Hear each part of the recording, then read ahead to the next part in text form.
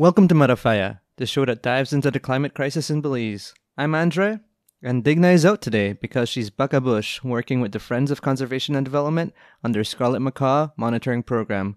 She'll be back next week where she'll share some of her experiences during the week long research trip.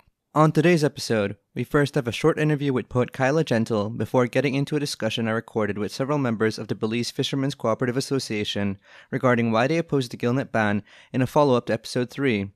So if you haven't listened to that episode yet, you should check it out. Khaila is a poet and storyteller born and raised in Belize City, Belize. She picked up the craft of writing at the age of 12 and since then has never let go.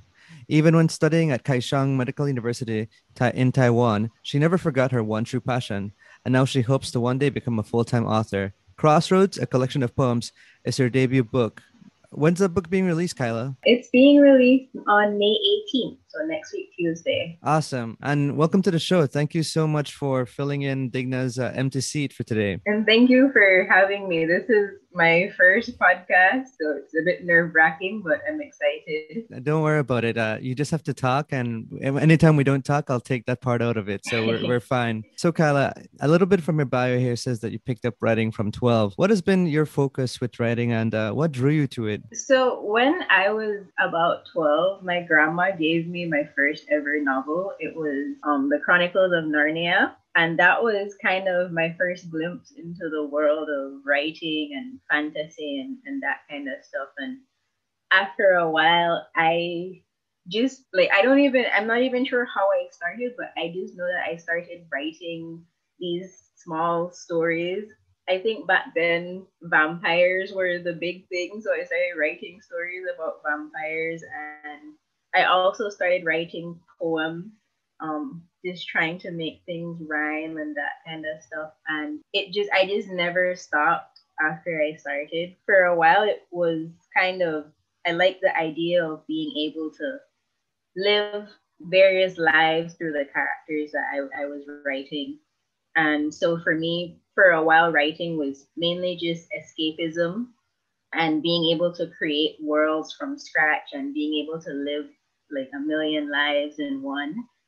Um, and it wasn't until I was a lot older that I more I leaned in more to the art of poetry. Like I went to the open mic night at the 501 Hub with the um, 501 poets, and I felt so like inspired when I was there that I said to myself, "Well, I I should probably try and take my poetry more seriously and."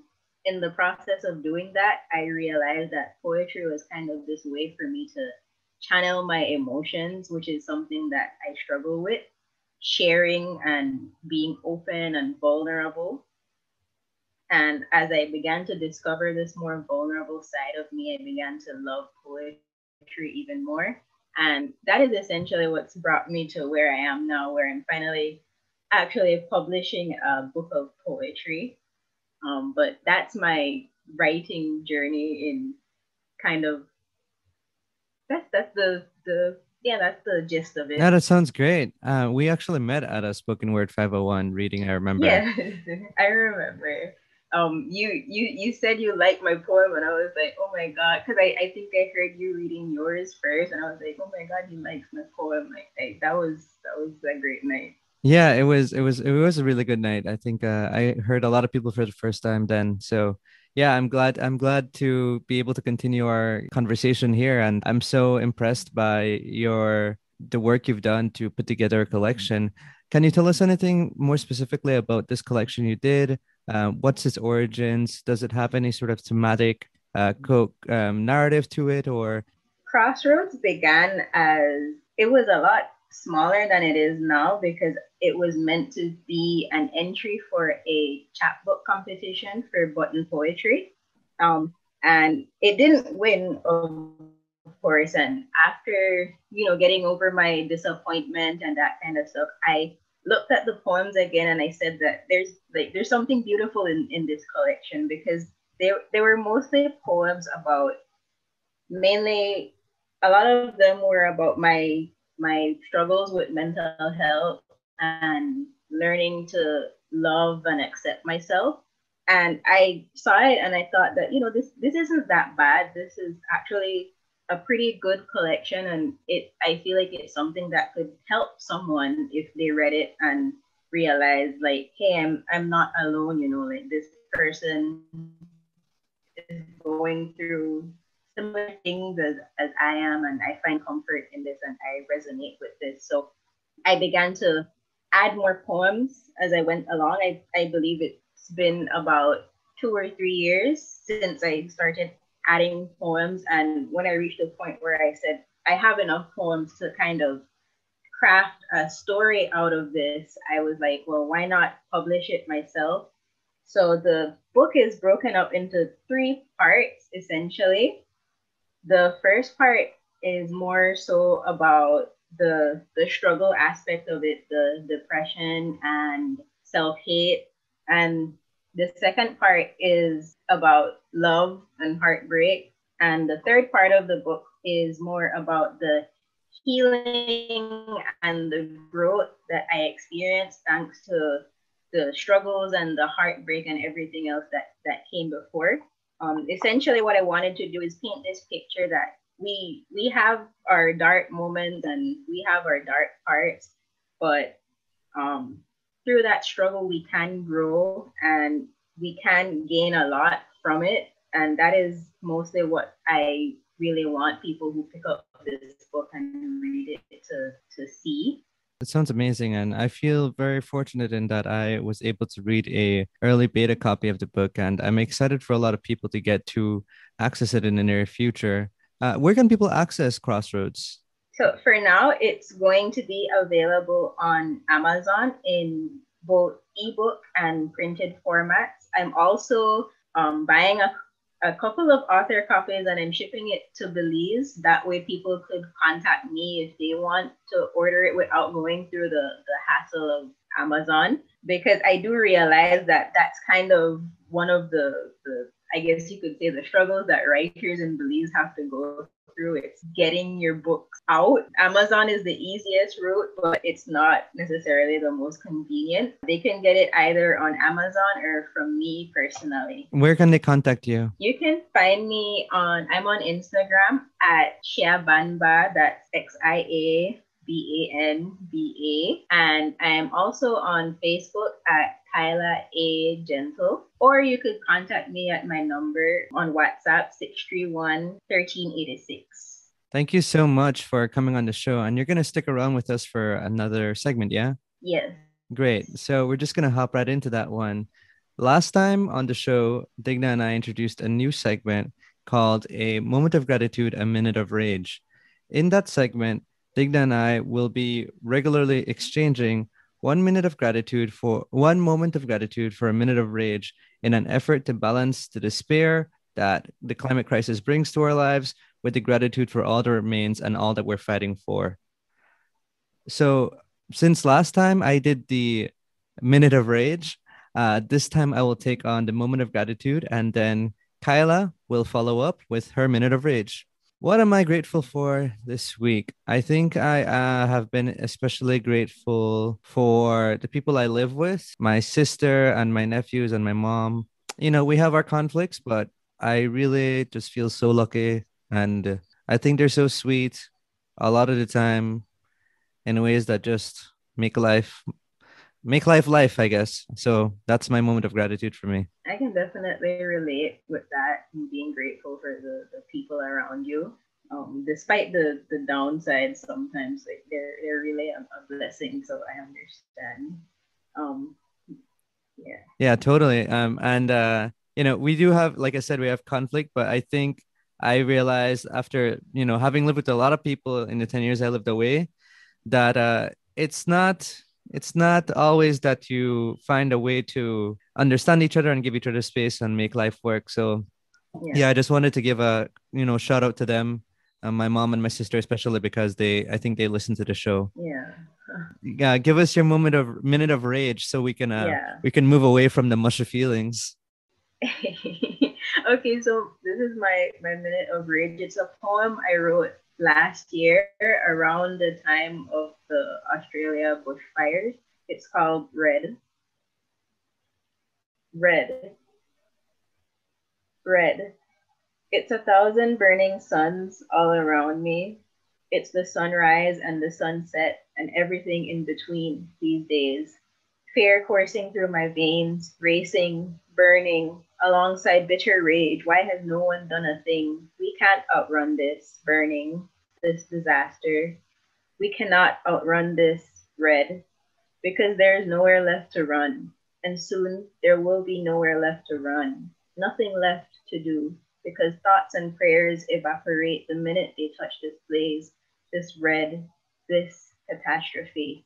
Wow, that was amazing. Thank you so much for reading that. That fire really stuck with me as a very scary premonition of, of things to come if we don't get our act together as humans. So thank you. It was rage eloquently and beautifully shared. So thank you so much for for sharing that poem. Yeah, no problem. I thought it would be fitting for the, the podcast since it is focused around environmental issues and that like you that the the forest fires is something that's embedded in my memory. It was i i remember seeing a, a photo of a kangaroo like trying to run away from the fires and that is what like inspired me to to write this.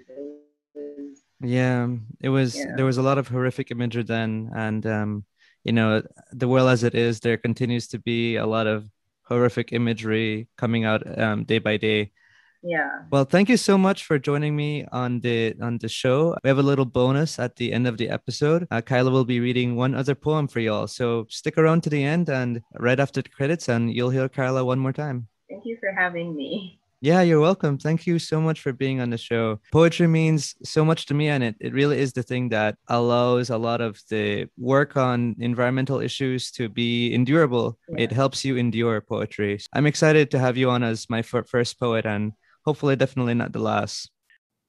Last time I discussed this topic, I was a firm supporter of the gillnet ban, believing it was in the best interest of marine life. After the conversation you're about to hear, I've changed my mind considerably.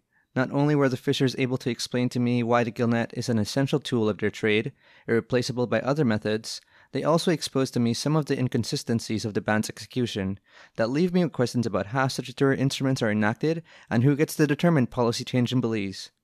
I'll let you all listen and decide for yourselves. I'm sitting here with the Belize Fishermen's Cooperative Association. Hi, good afternoon. Sydney, I'm Sydney Fuller, the, Belize, the Executive Director of the Belize Fishermen Cooperative Association. Uh, good afternoon. My name is Armando Ramirez. I'm the chairperson for the BFC, also a third generation fisher. My name is Andy Jones. I'm just a fisherman fighting for my gill net so that I can survive. Hi, good morning. Um, my name is Paola Coleman, a fisherwoman from Dangriga Town, and I'm here because I'm not happy about what is happening with the gillnet situation. We need an answer about it as soon as possible because our livelihood is at stake. Good afternoon. This uh, Jose Coleman uh, there because well, I live off of my net and well, that the only thing I know to do, and I pen on that. I'll, my life I do that, and um, only thing I can do is fishing. Good afternoon, Vonetta Dawson Fisher of Dangriga. Good afternoon. My name is Steve Fuller. I'm from Belize City. I am the spokesperson for the Belize Central Fishers. Good afternoon. My name is Alan Byrne. I'm a gillnet fisher from 1975. And um, I just want to say that uh, it's a good thing that we are here because we need to get our ideas out to the public because the other side has, has put out a lot of bad information. We need to counteract that. Thank you. Thanks all of you for being here with me today. So, um, Mr. Burns, I think you hit it off uh, well right there. There's a lot of disinformation. What are some aspects of this situation that you feel may have been rep- misrepresented in the media or misrepresented by those parties that were involved in initiating the gillnet ban? To answer your question, some time ago, about a month ago, we had a, um, a press conference in which I made certain statements that is well worth re- repeating. And one of them is that Oceana has been saying a lot of things that is not true. That gillnet kill small fish, they kill turtle, they kill manatee, they destroy the reef. Now, what happened is a gillnet is made from fishing line. 40 pound test fishing line. And um, the size mesh that we use is 4 inches which means that the fish has to have a circumference of 8 inches around the gills for it to be caught in the net. Anything less than that, the fish will escape from the through the mesh because the mesh is too big to, ho- to hold it. Now, those fish that are caught in the gill net are mature fish that have already spawned at least twice. Spawn means they have um, reproduced and replenished the sea with its eggs. So when we take a fish from the from from a gill net, that fish had replenished the sea with its species a thousand times. But not all will survive. Let's say if it were to 50 to survive from each fish that we take, that means that that fish has replenished the sea with 50 of its species. So, how come this is a destructive gear? This is sustainable. Secondly, a gillnet, they say gillnet use, is used right throughout the year. Gillnet can only be used a certain time in the night, certain nights of the month. Five days prior to the full moon, the night of the full moon, and five nights in succession going past the full moon. That means that during that time we will not be able to use a gill net. The reason being because of the moonlight, the fish see the net and will avoid being caught in the net. So then that in itself is sustainable because we have to avoid catching fish during that during that those times in the night. So only half so if we were to say we can only fish half of the month, it means we fish six months out of the year. What is unsustainable of, about that? And a next lie that they say is that gillnet kill manatee. Now, remember I told you earlier that the that a gillnet is made the, the webbing of a gillnet is made from 40 pound test fishing line. Now, a malantee is about a bull malantee, full grown bull malantee, is about 12 feet in length and has about a circumference of not less than 8 feet at its widest part. Now, that's a powerhouse. Now, if a malantee comes close to a net and wants to pass, all it has to do is make one flap of its tail and it will tear that net to, to ribbons. So there is no way in hell a gillnet can catch a manatee. Now, a lie that they put is that whenever the, the, um, the tourist boat kill manatees with the propeller and a, and a dead manatee is washed up on the beach, and you see the big scars and the, on the, the big chops. And what they do, they take a net, a rope net, they are net made from rope to sling the manatee to dispose of the carcass. And so they, they roll it in, a, in this big rope net, and then they use a, a, um, a backhoe to hoist it and put it in the in the, in the pan of a pickup truck or whatever to take it away. And what happened is they take photograph of that and say, "See, that's a net. That's a fishing gear. That is what what is killing the manatees," which is downright dishonest and irresponsible. I appreciate what you said there right now about uh, the misrepresentation of the gillnet and its impact on various ecosystems. One thing we spoke about before this interview was how that is in part due to the representation of gillnets we're getting to see in the media in terms of the visual modeling that depict various animals getting caught up in the gillnet. At this point in time, gillnets are being referred to as walls of death. What do you ascribe this perception of gillnets to? Yeah, here in Belize, we don't do industrialized uh, fish, commercial fishing of, of whatever kind. You know, our, our gillnet is, is really, really small. I could recall those good old years when we go and pick up our net, we will always find some tremendous holes, I mean, the size of this table I mean, we knew right away what it was. You know, we have never slaughtered a manatee. What and if you look at the videos that Oceana is playing on these ads, they have a, a rope. I don't know, maybe it's uh, three eighths of an inch thick or, or, or one eighth. I don't know, but it's literally a rope. And the the, the kind of net that these people use out out there. I mean, we're talking about miles of net. Here in Belize, is just 300 meters. Those include the three pieces of net, right? So each piece of net have one 100 meter. So our, our fishing system here in Belize is, is, is like let me put it this way. Belize have one of the best artisanal fishing practices in, in, in the region. One because Belize if Belize were a country that would export laws it will be a filter rich country. You know, we have laws for every single thing. You know, so we are we are top of the game when it comes to, to laws. You know, I, I'm, I'm I'm I'm glad for that. I'm happy for that. But we have reached to a point where the NGOs are taking over the country, where they come and they dictate to the government, and we have governments. I mean, we have people who are leading us who have not a clue of this industry, right? So we have ministers who become ministers of fisheries who maybe be, may, their background may be agriculture, their background may be um, baking bread, their background may be anything else but fishing, right? So how can how can these people make wise, um, sound decision for for this industry? You know, so our fishing industry here with Gillnet, it, it's it's it's healthy, it's environmentally friendly, and what Gillnet, what tourism has done in Belize in 10 years, Gillnet has never done in a hundred years in terms of destruction. You go down south, the amount of, of, of dredging, the amount of landfilling, the, the, the, the, the thousands of acres that have been filled. I mean, these were natural marine habitat, you know. But when you fill that because of tourism or in the name of tourism, you have just destroyed not just the next generation or not just uh, some larva or some little minnows. You basically have wiped out a complete geographic area of this country where it will never be a marine habitat for the next generation.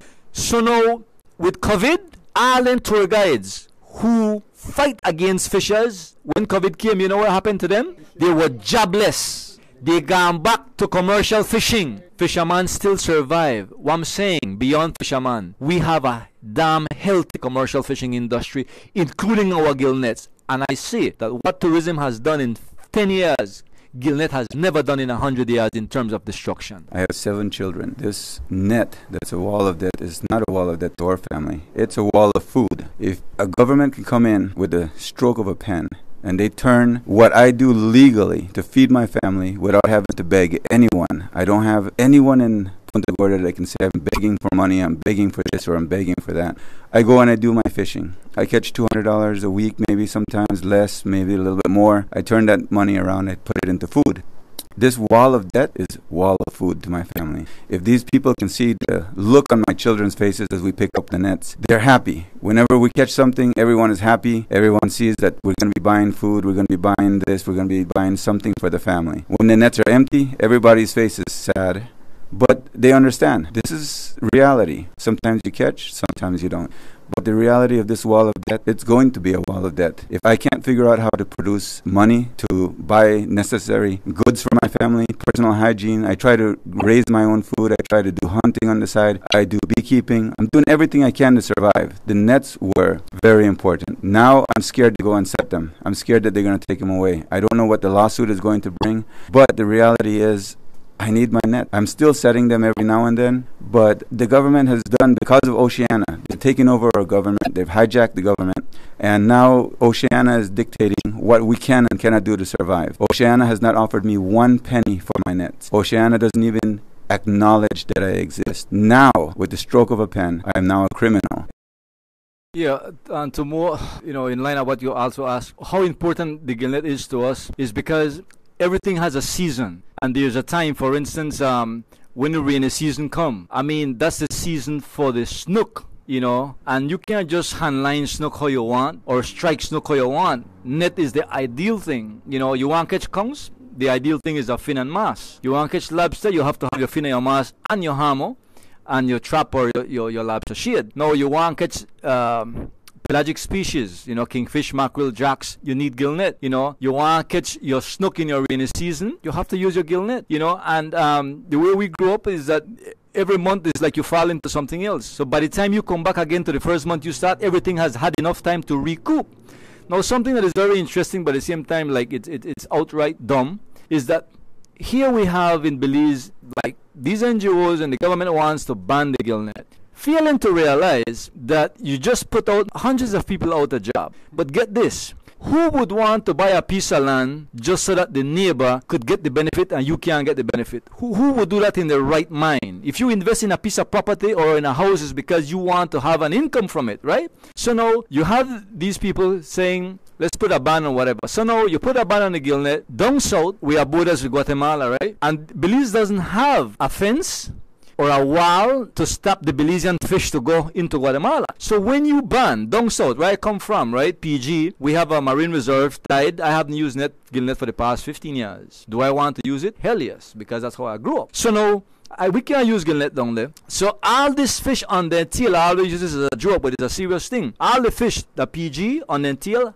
has Guatemala. You know, they all come and go. You know those people? Those people are getting like I mean at least a hundred thousand pound of fish in in in in a space of So three some would months. say um, that within the gillnets are a practice. That's like yes, it was part of our cultural heritage, month. but it's That's also something that that I perhaps we could need to easily move away say from Belizeans because of could its have destructive access features. and Now, benefit, but the because we can't it's use the gillnet, something these that fish go to Guatemala. So everything that Belize government are doing along with the. NGOs So, what would you say to that in terms of, what a in terms of Belizean why are gillnets uh, so crucial and marine resources, broad variety of ways in which you guys fish? Since the closing of the lobster season, well, we had the need to go on and set our nets for our income. But unfortunately, my teammates they um were got with the gill nets, right? For me, it is unfair because we we used to fishing with it bravely, brave, bravely, and now we feel like um we are criminals Right now, um, we have one of our vessel and our nets right here at Fisheries Department. Department. Um, from then, I am not able. We are not able to go at sea to um fishing. Um. Lobster season closed, then conch season open, yes, but we're not finding the, the product bec- and we have the weather from Easter. Um, there's not no like uh like what's this word um like um will for me to go out there and do something at sea right now. So right now, what I was doing lately is sell food home, something that I thought I would never have to do. But I am in this situation where I cannot do nothing. So this banning of gillnet is really affecting us. Um, we have guys that are working for us. I cannot give them no job right now because of my situation, right? And I will not. I I, I could have um decided to give in my gillnets to Oceana, collect the money, but I do not see the benefit of it in the future, so I deny that. Well, I think the net very crucial to us as fishers. Like we say, climate change, it help we a lot. Hurricane season, we can't dive, we can't hand fish. If you could look out at the weather, you'll see how it's stand right now. We can't sit down in the boat and do nothing. So now with the nets, like when hurricane 10 to 20 knots the blow, that the net save we, we secure pan land and the net dead of water. So when we can't dive fish or nothing now, if they ban the net, when hurricane season where we are do? Sit down while we pay. My house, the only net feed everybody in my house. Cause I don't want family fisher. So if I not go work, nobody eat, bills can pay. I not gonna a fish job full in up pan. So I say if we, we really need we need under something really valuable to us fishers for morning and we not overuse it. We not the chop and reef because then we don't have money for buy a new net every day. You understand? We can't buy and the reef, the reef, the the um patches then we cut up the net. We're not rich. We usually build with own rammers and wrap with net wrong that. We could damage that because they're just things where we put there like trees and sometimes wanna pay like a three thousand more for one single net. Forget it. Well me I I learn for do my own sewing and everything for make it much cheaper for me for the net. But it very expensive. Very expensive. So we really need we net it valuable to where when worse hurricane season and then they give it a longer stretch now you see from Easter where they have weather. Easter may bad for we as fishers with net. People come want fish but we not have the net for go go get on a fish mama and I not going out there. Cause they not pay insurance if we not go with self social, if we not go with self with a set of workers where we have to look upon we own, we have to mind we self. Nobody back we up like Oceana and they can insure me and my boat for go out there. And then they want to take away the insurance from me. That our insurance. We safe when weather, we put the net. Our insurance still let us see. We family still eat. Then nobody oh when the peep so make a hurry put the net so we could drink tea the morning that no fisheries officer or somebody they can catch we. You understand me? So we really need we net and it really valuable to we as fishers. When not blue, we can go there and do no diving. We can dive for cows, we can dive for lobster. And um, all the fish, when not blue, all the fish go to the south. The south have, Rio Dulce, have something like a funnel. Everything when go in there, no come out back because all the sprat and all the bait go in there and the big fish follow that because why in there is big, big lake, so they go go in there and live. So everything we pass from Belize and coast are right down to Guatemala and then get the benefit of it. Because when snapper come down, when snapper come down in November and December, they just pass through, then go right through, go to Guatemala Honduras. Because after we catch it there, then catch it over there. And the next thing, when we used to, used to go to outside the reef go fishing, I meet to close to a hundred boats from Honduras, the fishing there. And when I go to Honduras, all the fish were go, fire, goes direct to Honduras. Honduras get the benefit of it. Right now, there was an official figure that was provided to the public about how many people had registered gill nets at the time of the ban, right? And that was based on how many people were registered between 2015 and 2018, according to them. So, what you just said, Mr. Jones, is that the uh, Oceana and Fisheries, um, when they received your application your, your, for registration, that that registration was never came about. Um, is that a common um, a common thing that was happening at that time? And in addition to that, uh, what happened to? I'm not sure exactly how to answer um, this, but um, I do know that I went to the fisheries department. I registered my nets. Um, the fisheries men there, I know they know that they helped me to string it out, stretch it out, measure it. I filled in my applications. I did everything, thinking that everything was above board. Um, that was a couple of years ago. And before this ban came into play, w- it was before the ban was into play. And when I went back and questioned about it, I never worried about it because I did everything that they said by law. They said we had to start registering it. I said, okay, good. So I registered it. I never tried to bother about it, didn't think about anything about it. When I went back to find out about it, they said they sent the paperwork to fisheries. I called over here, fisheries says we never received the paperwork. And I spoke to a gentleman in the department here, and he said, that they're getting a lot of complaints about that, where gillnet registrations were lost, were never received. They don't know what happened to them. It seems that it's a common thing that happened, and I am one of the people that got caught up in it, and I think a couple of people in this room have been caught up in that, where the it's like Guatemala and the fishes. You go in and they don't come back out, or applications came in and maybe Oceana is holding them for us. I'm not sure. The registration of Gillnet started in 2013. I did my registration then, and I have a copy of it. And there's nowhere on this registration, it is stated that there is an expiry date. What happened in 2020 January, at the bottom of those who they cherry pick to have their um, registration of Gillnet re-registered, they put at the bottom expire at the end of 2020, January, December 31st, 2020. Um, I was denied to have my net re-registered in 2020 and they told me that they only take in registration uh, who did their re-registration back in 2019 but there is nowhere on this application that i have and i have it here before me and all other applications before me who did that uh, uh, after me would have the same thing. There is no expiry date on that. Now when i looked at the cabinet paper, it is stated for, for um, 2019, December of 2019, it is stated that all existing gillnets should be re-registered. Now the question is, why is it that the Fisheries Department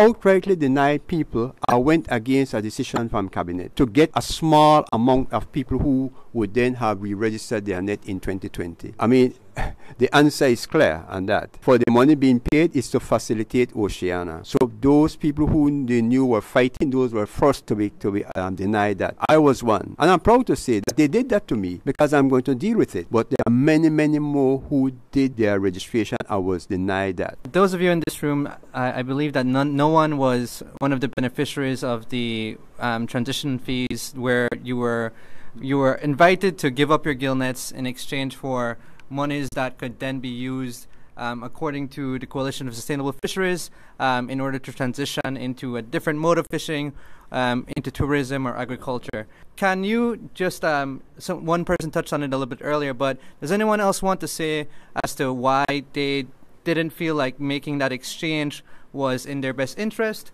And also, are you familiar with anyone who has um, given up their gill nets and how that's played out for them? Yes, I got somebody will do that. Yes, he be, take the money and build long fish pot. And what they do with the fish pot, they kill a lot of small fish, and a lot of them stay out of the sea, eh, and they rotten, and the wires they use. So that to me, that destroy a lot more on the net because that fishing day and night. I, I think I think one of the things that happened with Oceana is that uh, there's a few people who do commercial fishing because I mean you just can't have a commercial be a fisherman and then decide one day to walk up to an office and go get your tour guide license. You can't do that. Unfortunately, the tour guides that have a license can just walk up to that building and and walk down with a commercial fishing license, right? So these are the people who income is not 100% on commercial fishing. So they have something to fall back. So they can give up their gill net. And these are the people that Oceana have target. These are the people that Oceana talk about a lot of people, a lot of fishermen who. These people are not fishers. If you do have a fisherman who really depend on fishing, is because he have probably life really good that he doesn't need the gill net, or maybe it's a fisherman who who is not using gill net at all. But any serious commercial fisherman that use gill net would never say the things on the media as Oceana are saying it or using them to say. So there's a lot of people that are tour guides who have commercial fishing license and all these people that Oceana talk about are fishers who want the ban. These are not fishers. These are tour guides. These are people who are maybe teachers or something. I know somebody's a PG who don't want teacher. Retire they collect for his pension. You know, he use gillnet. He sell out the gillnet just to collect it. He just use the situation for benefit, benefit himself. He's not really, he's not for Oceana nor for, for, for the fisherman. I think he just Oceana cherry advantage. picked who they were going to give this money to. And I do know of um, one gentleman in particular that was given the money, but to be honest, I never seen him using a gill net. I've never known him to use a gill net. He must have been able to get his gill net license somehow. And this gentleman, I've actually seen that he has received the funds. And I see that he's got now a new boat and an engine. And it just seems strange to me that it's people who are not really depending on the GillNet that are getting the funds. And I hear on the news, I, wa- I wonder to myself, Oceana is putting out so many ads. These ads, I, I can't imagine that they're cheap. Those ads could be coming in handy for, like my friend across the room from me. Her boat is now sitting in in fisheries department with her engine, with her net, with everything. Where sh before she's never had to go out and beg or cook or do anything. I'm hoping the fisheries will go and give the herd some pantry or something because now they've basically delegated us into paupers. So what are we to do? What are we going to do? I mean, are we going to get in the breadline and ask for food? Or do we hold our heads up high and become, you know, we're fishermen. That's what we do. We fish. We sell our product. We're proud of doing that. We're not begging. We're not in any breadline. So Oceana, you know, they, they, they pick and choose who they want. The ads could be helping people who need food, but they use these ads, and there's quite a few of them every day, almost, it seems. Or every time I turn on my news, there's an ad about Oceana, who they're helping, and it's the same four or five people that are always on it. I don't know anyone else. And it's not benefiting us. It's not benefiting anyone. I'm wondering to myself, one minute Oceana was talking about 1.5 million, next minute they're 2 million. We don't know exactly how much money they have. Oceana should come clean. The people that they're giving the money to state exactly how much money they have, state how much money you have left, show the people that the money that you have is really being used for the fishermen and not going to some minister that we don't know about if he passed a law at the end of the term just to get money. I'm just saying. But we don't know. Oceana should come clean with the money. State what you have and state to where it's going.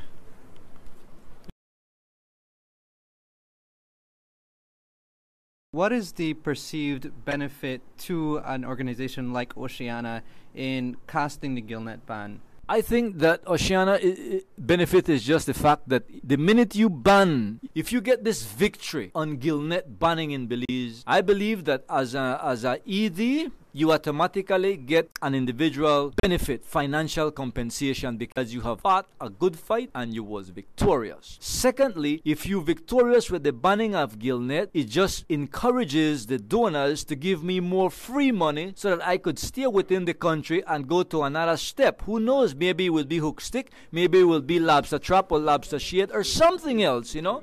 So there is a benefit, there's a direct financial benefit to Ocean- Oceana the minute they win permanently this battle. So, you know, it may not have nothing to do, even Oceana itself, even Janelle Chanona, I believe she even she doesn't believe the sermons that she's preaching. But because there is finance, you know, she's showing it out there. What was your awareness as individuals and as an organization of the Gillnet's ban taking effect? Because it was supposed to originally be taking effect in 2022, and very suddenly it got brought up to 2020. In 2019, we had the, the task force, of which the Belize Fishermen Co-op Association, who represent the commercial fishers of Belize, fought to get on that task force. We finally made it, and our first meeting was in January of 2019, the 11th of um, the 11th of January 2019. At that time, it was it was um, the chairperson was Dr. Percival Cho, and he reiterated that what the task force was was all about. And I'm just going to read it from here. The chair reiterated, as stated in the past, that the main purpose of the meeting is to, in quote, develop improved measures to reduce harmful effects of gill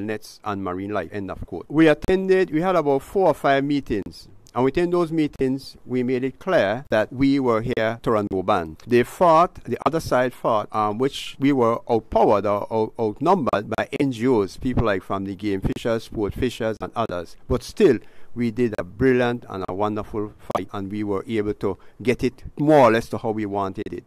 Eventually came and there I proceeded to file action after consultation with my fishers, action in the courts to see how we can have this matter addressed. The matter is now before the courts and we rely on that that should be an, uh, um, comfortable and welcome for us and that we're looking forward to something good on that. But that's where it is for 2020. There was not much going on, but what we learned after the SI was signed that there was a coalition for sustainable fisheries which consists of NGOs all those who were there fighting us at the task force prior, which the government has put together, um, the Mara Alliance, the um, Game Fishers, Sport Fishers, um, Yellow Dog, Turneffe, Turneffe Atoll Trust, and, and others who were there. And um, they were the one who sat down and put a paper together demanding a, a early um, ban, and which then, with discussion apparently with just the minister, he went ahead and did the ban. We in the fishing sector knew nothing, nothing of that until after the SI was signed. So it was the rug was pulled from under us, if I may use a term for it. It was unfair to what happened, and that's why we have the matter before the court, and that's why we continue to fight to see how we can have this SI rescinded. Thank you so much for that summation of the events. That's all the questions I really had, but I would really like to open up the floor to anyone if you all have any final words you want to contribute to this discussion, anything you'd like the public to know about the ban and about what you're really wanting to happen, not just with the ban, but in terms of your involvement as the cooperative As in talking, matters that concern fisheries on the about the national level. Fish and about the scarcity of fish. I'm thinking to myself, I, I, I miss when I used to catch an abundance of fish in my nets. I would take it to the market, and I would always see, and I would always have my customers that didn't have much money. They would come in there, and I, I know who they are, and they know they don't have. They would ask for one jack. A jack would be like two dollars, and I know I would always throw in some free, or sometimes I, I'd see a little old lady coming in. She doesn't have much, and I would always tell her, you know, here you go. You can have that for three dollars, and it's enough to feed her for maybe two or three days.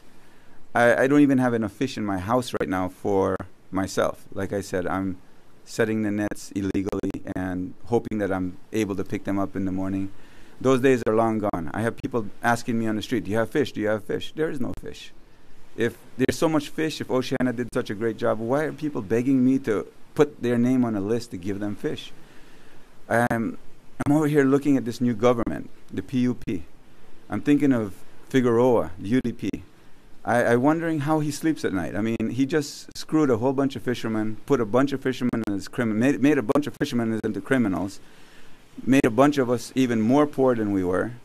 Is he sleeping good at night? I mean, is his paycheck coming in? Is his, I mean, does it, does he, is his refrigerator well stocked? I mean, is his pantry full? Because I, I usually buy by the week, so I know my pantry is not full. I mean, is his paycheck, is his bank account nice and fat? Is he sleeping well? Because the rest of us out here, because of that one stroke of his pen, we're all criminals now. And Oceana is not helping. Oceana has basically hijacked our country. The new government that's in, a lot of people tell me, don't put any trust in them. They're just the same as the other ones. But you know what? I'm hoping, I am praying that this new government will see the light and see that there are a lot of people, honest, sincere people who don't want to be begging for food. I'm putting a lot of trust in this new government that they will help us, that they will see the light, that they will do things good for this country, that they will bring this country back to a time of prosperity. They will do something right. And I'm putting a lot of trust in this new government, even though my friends are telling me that they're just here to use us, they're just here to get what they can get. I'm really trusting this government to see what they'll do for us.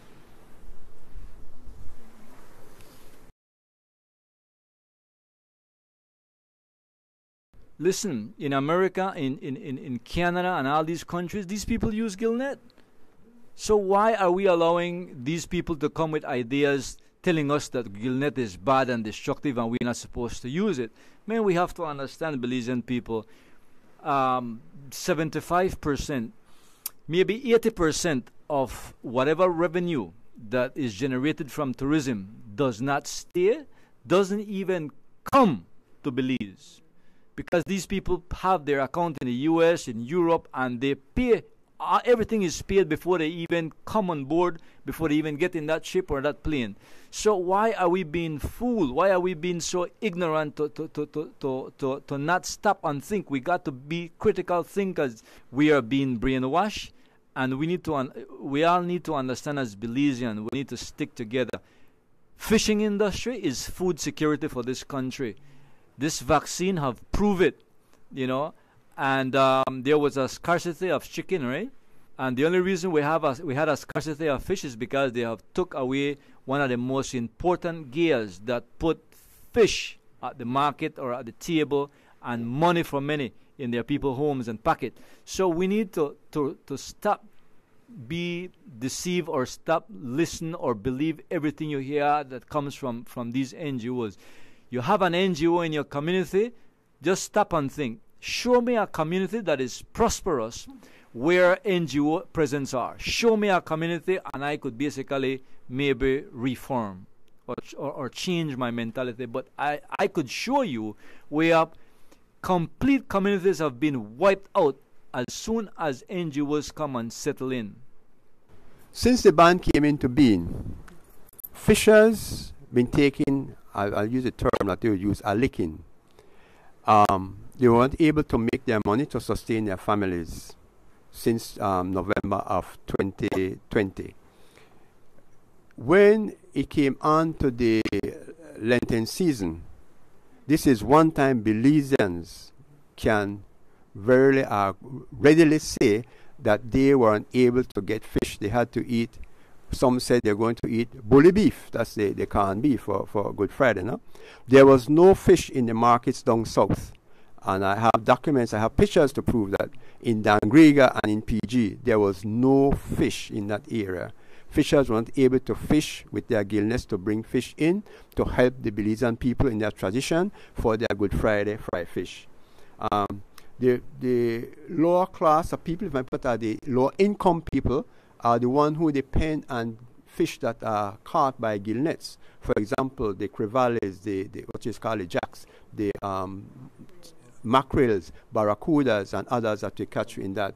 So drummers and other things like that. So they were deprived that opportunity where they can buy a pound of fish. For, for example, a mackerel, two pounds would cost a housewife, a single mother, maybe about ten dollars. And if she maybe argue with the fisher, might get it for, for, for maybe nine dollars. She can take that home and she can get maybe 11 to 12 sizes from that fish because a mackerel is a long fish. you can cut it in small pieces and feed her family. Maybe have six hungry um, children or siblings can be fed from that and they'll have a healthy and nutrition, nutritious meal. So they now are being denied that, and it continues because people are still not getting fish. I mean, they they at the market and they walk with their bag and they just shake it when they see snapper for fifteen dollars a pound. There is no way they can afford that. So the gillnet need to get back because it is a fair uh, gear that can be used. It's not destructive of ocean has been um, claiming without any kind of um, proof to that. The FAO, the Food and Agriculture Organization of the United Nations, had rated gillnet as a favorable gear, 5.9 out of 5.4 out of 10. So it's a damn good. They recommend that we use gillnets. So um, for people, the small, lower income of people, it is a problem for them now. They cannot buy fish. So that will be one of the item from off their menu they won't be able to eat fish anymore because they cannot pay $15 a pound for snappers. Imagine a single mother working in Belize and taking home for 145 per week. She cannot buy um, snappers. She used to go to the market and buy a two pound mackerel, yes, for $10 and feed her family for a day. So this is the benefit and um, thanks, like what my friend said, of Oceana, helping the Belizean nation, living us, have us live in hell. Following the interview, I reached out to an Oceana representative for comments in response to what the fishers shared with me. They decided not to due to the present lawsuit they face. Thanks again to the fishers from the Belize Fishermen's Cooperative for joining today's episode, and to Khaila Gentle for her poem. Please stick around to the end of the episode for another piece from her. Next week, we'll be doing an episode on forest fires, an increasing threat to Belize's forests, along with an interview with Mr. Mario Muschamp, someone many consider one of the foremost experts of forest fire management in Belize. If you like the show, please consider writing a review for us over on Apple Podcasts, as it helps to increase the show's visibility. If you write a five star review, we will read it in a future episode. If you have a climate crisis or environmental story impacting Belize you'd like to discuss, you can contact us at madafyah at gmail.com or message us on Facebook and Twitter at Mada Fyah, and be sure to hit that follow button. We encourage you to subscribe to the show wherever you listen to the podcast so you can hear all of the other episodes that we have upcoming in the next few weeks. Thanks to Alexander Evans for providing our theme song. You can provide him on Instagram at Alexander Evans Music. And thanks to Demi Williams for providing our artwork. And thanks to you for listening to Mada Fyah. Don't forget to join us next week for another episode. And remember, climate change is real, and collective effort is needed to save our home. We wish for you greater resilience, peace, and moments of quiet.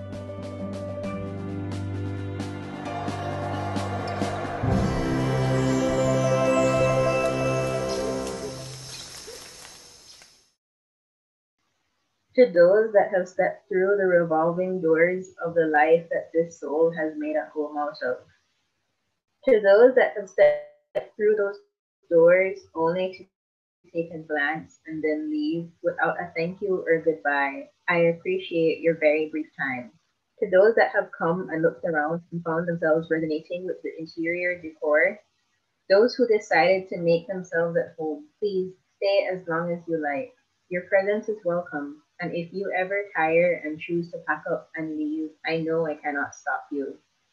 To those that were evicted, whatever the reason may be, I'm sorry we had to part ways. I know you found plenty of homes that provide for you in ways that I could not. And to those who came and stayed a while, but scratched up my flooring, ripped down my curtains, and then left without closing the gate behind you, without taking a second glance back at the doors hanging from their hinges, or at the furniture strewn about, I say thank you. Because if it were not for you, I would have never known what it means to rebuild I would have never known how to take up hammer and nail and mend the broken windows, to pick up bucket and brush and repaint the peeling walls. I would have never known how to shed a couple tears, varnish the furniture, and then move on. And so I say thank you. I do hope you enjoyed your stay.